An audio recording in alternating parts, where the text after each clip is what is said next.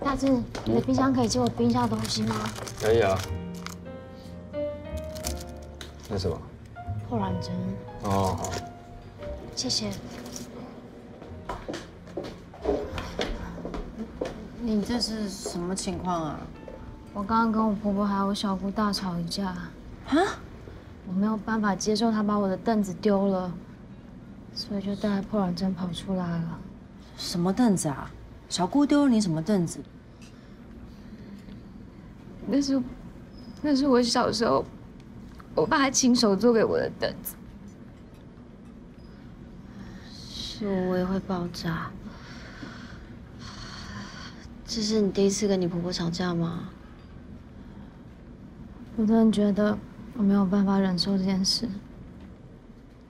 丽芳，其实别人这样对你，都是你教的，你纵容的。你们关系这么糟糕，你也算有一半的责任。但丽芳她也只是尊重她婆家的人呐。我只是不喜欢起冲突，我觉得。能包容就多包容人家一点。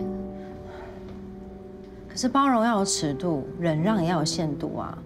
你想要委曲求全，可是委曲求不了全，你还不是成了一个受气包？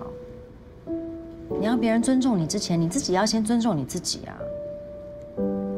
你都不在乎你自己的感受了，那为什么别人要在乎你？你没有画下界限，别人就会不断的亲门踏户，你知道吗？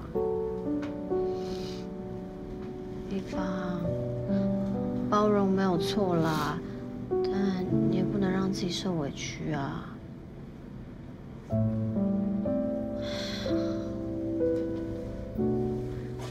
走吧，走去哪？嗯，送你们回家。不要。啊，两个都不想回家，那我只好带你们去夜游喽。可是我没带衣服，也没带其他东西。